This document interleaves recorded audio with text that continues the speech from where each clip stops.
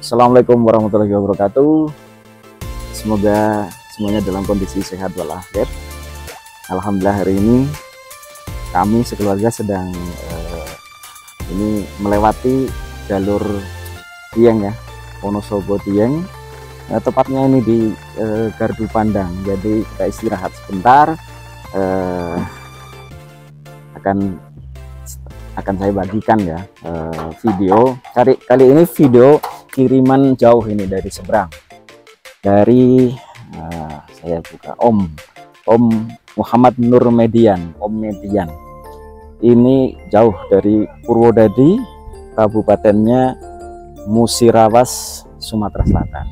Oke beliau membagikan video pemasangan HJS RR Pro ini di mobil Mitsubishi Kuda bensin gen 1 gen awal eh, mobil ini pertama di di ini dikenalkan oleh PT Kramayuda itu tahun 99 ya. Tahun 99 baru tahun 2002 ada facelift dan generasi kedua itu sudah injeksi.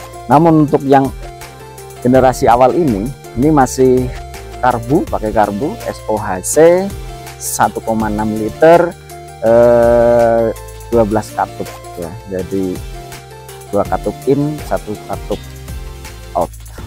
Ini ya secara spesifikasi ini eh, walaupun kapasitasnya itu di bawah kijang kalau kijang di tahun itu sudah 1,8 ya. Tapi untuk spesifikasinya atau speknya itu enggak kalah dengan dengan kijang karena memang secara teknologi lebih sedikit lebih unggul dari kijang. Kijang kapsul ya. Eh kijang karbu maksudnya. Kijang 5K kijang 7K ini memang sih sedikit di atas atau satu tingkat di atas 7K oke okay? secara spesifikasi ya secara eh, di atas kertas ini memang. Untuk mesin 1,6 liter ini kode mesin 4G18 ini menghasilkan daya kuda power 108 HP di putaran 6000 ini memang rata-rata untuk mesin bensin untuk eh, power itu puncak powernya itu di angka 6000 rpm rata-rata memang segitu ya. Kemudian untuk torsinya eh, 107 Newton meter di angka 3800 lumayan agak rendah ini untuk torsinya. 3500 rpm jadi beliau uh, sudah memasangkannya. Nah ini memang dipasang secara online ya. Uh, kita pandu secara online juga untuk pemasangannya dan uh, alhamdulillah selesai dalam instalasi dan langsung beliau tes. Jadi di testimoni awal itu eh, RPM memang jadi lebih rendah dari dari biasanya. Idle-nya maksudnya. Eh, nyala idle-nya itu lebih rendah dari biasanya. Kemudian untuk eh, tenaga. Nah ini ini yang menarik. Tenaga menurut beliau itu biasanya ditanjakan itu harus pakai gigi tiga dalam. Eh maaf harus pakai gigi dua. Nah Alhamdulillah setelah aplikasi itu pakai gigi tiga saja sudah nendang sudah nampol. Jadi ini kan sudah terasa sekali perbedaannya sebelum dan sesudah eh, pemasangan pemasangan HCS RR Pro ini. Nah mengenai irit eh, beliau juga memang tidak secara spesifik iritnya jadi berapa ya tapi eh, biasanya secara si pemilik itu kan eh, ini hafal betul sensitif. Tadinya biasanya eh, perjalanan ke, mana? Dari titik A ke titik B itu butuh bensin sekian kali ini uh, hanya butuh sekian. Artinya memang secara tenaganya juga meningkat namun untuk penggunaan BBM nya juga irit atau efisien. Jadi ini ini melawan melawan kodrat ya karena kan yang namanya tenaga meningkat itu e, berbanding lurus dengan konsumsi bahan bakar tapi ini uniknya Beb HCS RR Pro ini kalau tenaganya naik malah berbanding terbalik dengan konsumsi bahan bakar. Nah, ini menariknya di sini. Nah, sekali lagi saya ter, uh, eh, ucapkan terima kasih untuk Om Median ya. Uh, semoga uh, pengalaman beliau bisa menginspirasi teman-teman semuanya, apalagi khususnya para pemilik uh, Mitsubishi Kuda ya. Dan yang sayang sekali ini di generasi ketiga Mitsubishi Kuda ini udah discontinue ya uh, memang uh, sangat disayangkan karena mobil-mobil MPV ini sebenarnya sebenarnya kan mobil-mobil uh, yang sangat digemari masyarakat Indonesia pada umumnya. Apalagi dengan kontur jalanan di Indonesia itu yang tidak rata dan mulus ya. Ini jalan-jalannya itu naik dan ini, ini kan juga punya kelebihan. Salah satunya rear wheel drive ini kan untuk jalan-jalan. Contohnya ini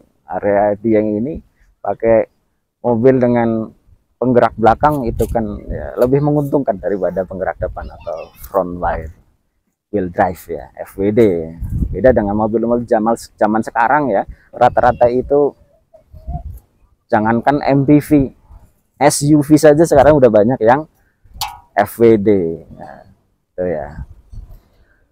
Oke semoga menginspirasi teman-teman semuanya dan semoga para pemilik ke eh, Mitsubishi Kuda ini uh, jadi jatuh cinta lagi pada tunggangannya. Dan uh, secara umum saya ucapkan terima kasih untuk teman-teman uh, semuanya dan alhamdulillah ya untuk HCSRR Pro ini sudah dapat dimanfaatkan atau sudah ratusan yang um, uh, memperoleh manfaat atau efek positif dari HCSRR Pro ini. Uh, dan semoga tetap uh, kita komitmen untuk selalu meningkatkan kita selalu melakukan R&D untuk meningkatkan produk untuk meningkatkan performa untuk eh, kualitas yang lebih bagus. Seperti itu eh, saya akhiri. Semoga semua dalam kondisi sehat walafiat. Salam sehat salam otomotif. Ilahi taufik wal hidayah. Assalamualaikum warahmatullahi wabarakatuh. Silakan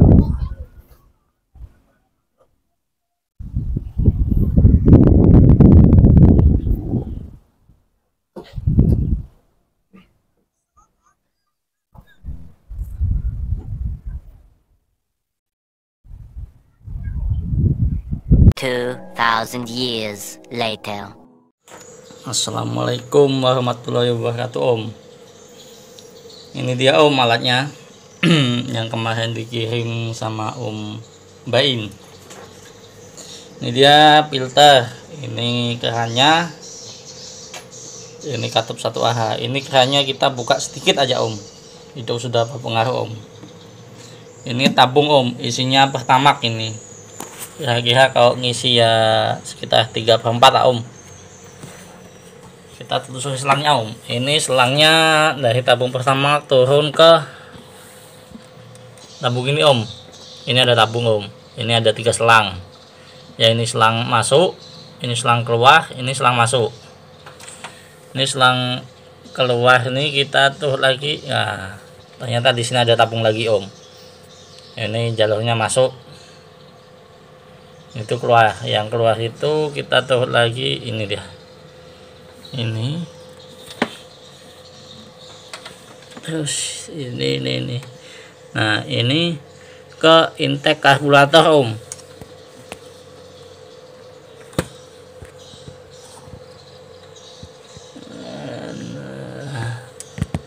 Kok nggak kelihatan? Nah, coba kita kayak gini.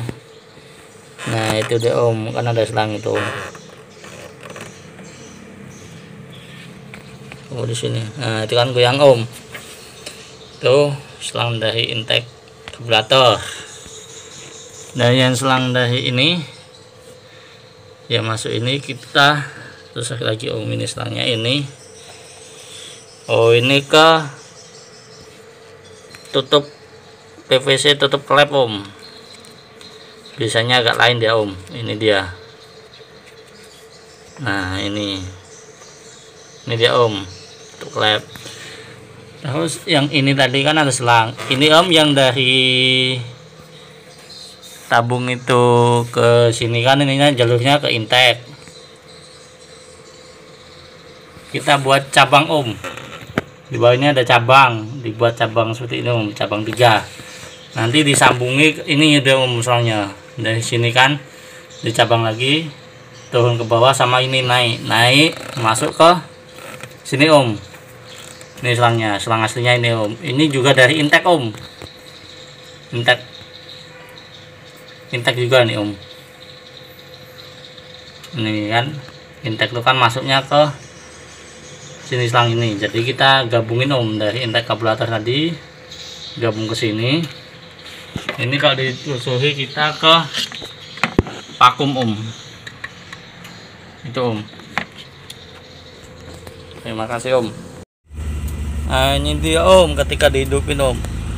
Ini kalau masih standar gasnya dia kalau dibuka katupnya dikit dia berada di sini om garis bawah nih om. Kecil dia mau mati. Ini kan baru saya panasi dia gasnya agak besar. Tapi itu kan kemarin saya agak besar besarin dikit om biar nggak mati dia om. Itu om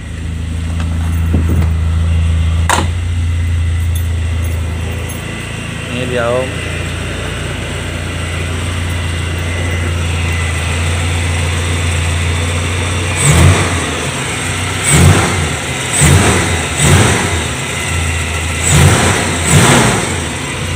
pokoknya di tenaga aman om. Tenaga tenaga itu kita ditanjakan biasanya gigi dua ini gigi, gigi tiga om kalau di bahan bakar irit om. Lumayan irit lah nggak kayak yang biasanya. Terima kasih om. Alatnya om